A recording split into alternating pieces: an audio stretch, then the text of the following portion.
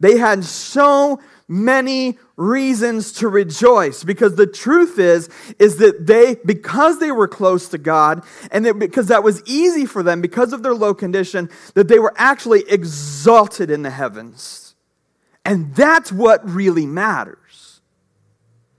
Romans 8 17, and if children, then heirs, heirs of God and fellow heirs with Christ, provided we suffer with him in order that we may also be glorified with him. These people hung on these hopes every single day of their life because they didn't have anything else in this world to hang on to. You see, we do. And that's why sometimes we completely miss the point on what's important. Because we do have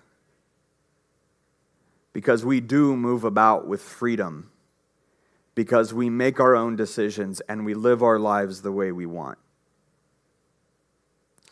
We fail to see sometimes just how pathetic all the things of the world really are.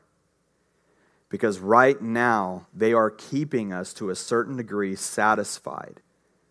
And to be honest, at certain points, our relationship with God is stifled. Now, I say satisfied, but the truth is, most of us aren't even satisfied with the immense amount of stuff we have. We're not even satisfied with the freedom that we have. I'll be honest. I mean, I, I think sometimes we just don't get it.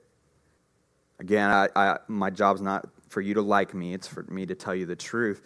I mean, there's a reason why you call a prayer meeting in some places of the world that are lowly and there's not a building big enough to hold the response. And you call a prayer meeting in America, three people are there. There's a reason for that. Because these people understand the desperation that they can't get through a single day without bowing their knee. And see, we don't have to do that because there's a level of our material things that are sustaining and satisfying us there is a level of dependence upon this world that keeps uh, our relationship and our dependence upon God at bay. In fact, to prove this, a couple years ago, we had this little huge worldwide event, virus thing that happened. I don't know if you guys remember that or not. I'm not making some sort of political statement. I'm not saying that. But I, I saw more people fighting for their personal liberties and freedoms than I'd ever seen them fight for the truth of the gospel. Now, I get it. Nobody wants their freedom taken away. We certainly aren't lining up to give it away. Anybody wants to take freedom away, they're going to have a fight on their hands. But that doesn't mean we have a right to worship those freedoms and turn to them for our comfort and cling to them rather than to the cross.